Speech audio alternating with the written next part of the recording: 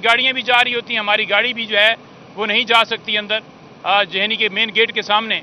तो वो सूरत हाल तो हमेशा रही है, उसको हम कर भी रहे हैं और उसमें हम इस्लामाबाद हाई कोर्ट से हमने रजू भी किया हुआ है।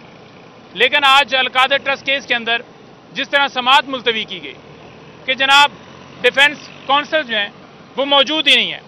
वो कहते हैं जी कि बुकला जो हैं, खान साहब, के वो आए ही नहीं है। तो मैं आपको बड़ा क्लियर कहना चाहता हूँ कि बुकला मौजूद थे बुकला आए हैं और पूरे साढ़े नौ बजे हर बंदा यहाँ पर पहुँच गया था। जानबूझकर, शायद मेरा ख्याल में जज साहब छुट्टी करना चाहते थे तो पीछे से ही कहा होगा कि जनाब, आप ऐसा करें कि आप लाजमी जाएँ। तो जब वो अदालत में आए तो उन्होंने कहा जी कि अब मैं आ गया हूँ तो लिहाजा कार्रवाई डाल दी जाए। ये मेरे साथ मिशाल खड़ी हैं, ठीक है? एक दो बुखला को अंदर जाने दिया गया। हमारी बहन दूसरी साथ खड़ी हैं। लेकिन आगे क्या किया गया कि वहाँ पर जो डिप्टी सुपरिटेंडेंट है उस कमरे में बिठा दिया गया।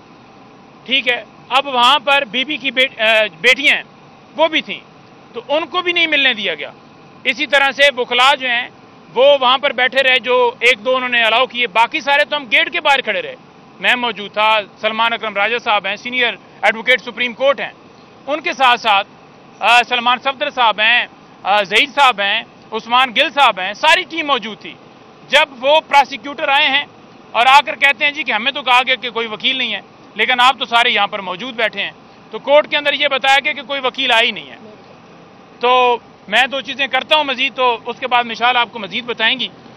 देखें, काजी फायज साहब के हवाले से हमने जो है दरख्वास्त सुप्रीम कोर्ट में दे दी है। तो अब उस एक दरख्वास्त के ऊपर डिसीज़न भी जल्दी दिया जाए, और जब तक डिसीज़न नहीं होता, तब तक मेरा ख्याल में अखलाकी तौर पर काजी फाइजा साहब को जाकर हमने, वैसे भी कोर्ट के अंदर भी कहा था और अब दरख्वास्त भी दी जा चुकी है। तो उनको चाहिए कि खान साहब के केसेस, पाकिस्तान तरीके इंसाफ के केसेस से खुद को अलहदा करें नंबर वन नंबर टू बात है कि आमर फारूक साहब, उन्होंने इस जो तोशाखाना केस है, इसके अंदर गिरफ्तारी डलवाई है। वो गिरफ्तारी कैसे डलवाई है? कि तोशाखाना केस में जो नैब के नोटिस थे, उनको चैलेंज किया हुआ था।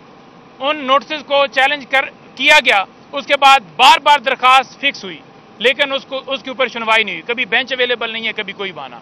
और अलकादर जो एहतसाब अदालत है, यहाँ पर भी हमने बेल्स मूव की हुई थी। तो यहाँ पर भी नोटिस किए गए, इस वजह से किए गए कि गिरफ्तारी डाली जा सके। अगर प्री रेस्ट बेल उस वक्त ही दे दी जाती, खान साहब और बीबी साहबा को तो कभी भी गिरफ्तारी न डाली जा सकती। और अगर यहाँ पर तोशाखाना केस के अंदर गिरफ्तारी ना डाली गई होती तो कल, जैसे समात हुई है नौ मई के हवाले से तो खान साहब की रिहाई के अहकाम जारी किए जा सकते थे, क्योंकि वहाँ पर जब एविडेंस मांगी गई तो वाजह तौर पर उनके पास कोई था। इन्होंने कहा कि आपके पास टाइम है, बताएँ कि कहाँ पर इमरान खान साहब कह रहे हैं कि आप जाकर जलाओ करें घिराव करें। तो उनके पास कोई ऐसी एविडेंस नहीं थी खान साहब के हवाले से। और आखिर में मैं ये कहना चाहूँगा कि जब काजी फाइजर साहब के खिलाफ रेफरेंस अपना जो आमर फारूक साहब के खिलाफ रेफरेंस जा चुका है तो कल जाकर हमारे वकला ने जाकर रिक्यूजल भी की है। तो उसके बाद वो क्यों उस केस की समाज सुन रहे हैं? उन्होंने कहा कि नेक्स्ट वीक जो है इस केस को लगा दिया जाए और कहते हैं कि ये कोई जवाब नहीं है। गिरफ्तारियाँ, छापे, अगवाकारियाँ जारी हैं। पुरमन एहतजाज हमारा हक है। आज पूरे पाकिस्तान में एहतजाज है और हम पूरे पाकिस्तान को कहते हैं कि पूरा पाकिस्तान आज निकले, इस जुल्म बरबरीत के खिलाफ जो है एहतजाज करे। एहतजाज की जब भी कॉल होती है M N H M P H के घरों में छापे गिरफ्तारियाँ शुरू हो जाती हैं। कल से ये सिलसिला जारी है। और रऊफ हसन साहब की जिस तरह से गिरफ्तारी एक झूठे मुकदमे में डाली गई और फिर रिमांड दे दिया गया है, सेक्रेटरी इंफॉर्मेशन, हमारे तर्जुमान और जिस तरह से बगैर किसी जवाब के रिमांड दिया गया है, हम उसकी भी पुरजोर मजम्मत करते हैं और अदालतों को कहते हैं कि आपका काम है इंसाफ दें। तो लिहाजा इंसाफ फराम किया जाए और जो जजेस को थ्रेट्स कर रही हैं, वो मरियम उनके खिलाफ तो इन्हें अदालत की कार्रवाई फौरी करनी चाहिए, क्योंकि ये नहीं चाहते कि मुल्क जो है, वो आइन के मुताबिक चले, ये चाहते हैं कि मुल्क इनके मुताबिक चले। जी, आज